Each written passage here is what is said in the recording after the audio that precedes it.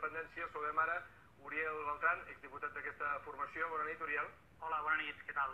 Uh, gràcies per, per, per acompanyar-nos a aquesta nit al Més 324 i volíem saber, uh, avui també ho expliques en un article a VilaWeb o no sé si ho acabes d'explicar del tot, però vaja, el per què tres diputats de, del vostre grup, l'Alfons López Cena, Miquel Estrovell i vostè mateix, vau acabar votant en contra de, del nomenament d'Alfonso. Per què?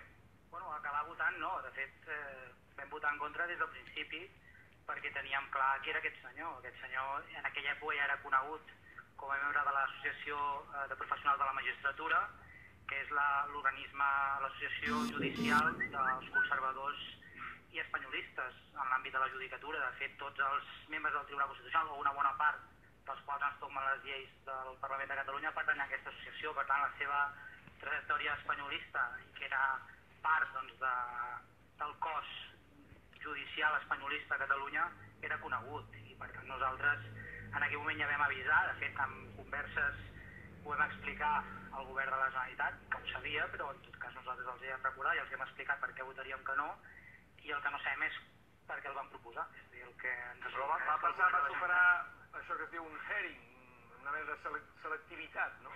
Sí, home, però clar, és que els, aquest herring el fan els mateixos que el proposen. És a dir, això ho fa el Parlament de Catalunya, per tant, eh, si els mateixos que el proposen, que representa que tenen la majoria al Parlament, són els que l'avaluen, doncs al final és com que tot queda a casa, és a dir, no és una avaluació externa, són els mateixos diputats que el proposen. Però eh, només pel fet de, de que fos d'aquesta associació de la magistratura, a vosaltres ja no us eh, feia el pes? Bueno, és que hi ha ideologia aquí darrere. És a dir, entenem que un càrrec d'aquestes característiques ha de ser imparcial.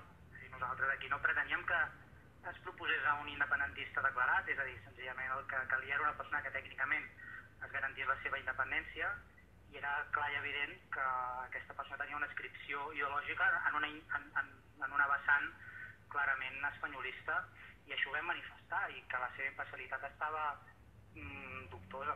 I per això nosaltres vam votar en contra i a més a més ho vam traslladar, és a dir, si aquí una de les qüestions clau del debat és per què aquest senyor va arribar a ser proposat pel govern de la Generalitat de Catalunya quan es coneixia la seva, la seva trajectòria.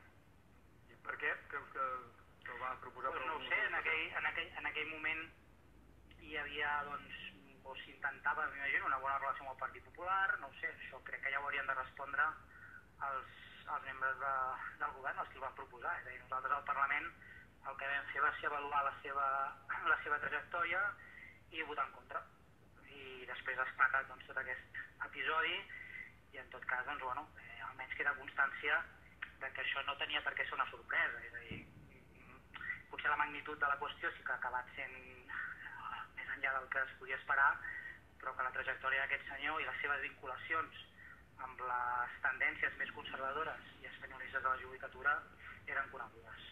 Molt bé, doncs moltes gràcies, Roger Beltran. Sí, de tota manera, el permeteu, volia comentar una cosa, i és que el que tampoc entenc, a veure si els de la taula ho poden debatre, és perquè la resposta de, que hi ha hagut és que eh, dimiteix el ministre espanyol per part de l'independentisme. És a dir, és com si s'estigués dient que un nou ministre espanyol serà millor que l'actual ministre espanyol en relació a perseguir o intentar crear aquests tipus de situacions amb l'independentisme. És a dir, jo crec que ara precisament és el moment perquè l'independentisme el que faci és complir els programes electorals i portar al Parlament de Catalunya un referèndum d'independència i una declaració d'independència. És a dir, precisament és en els moments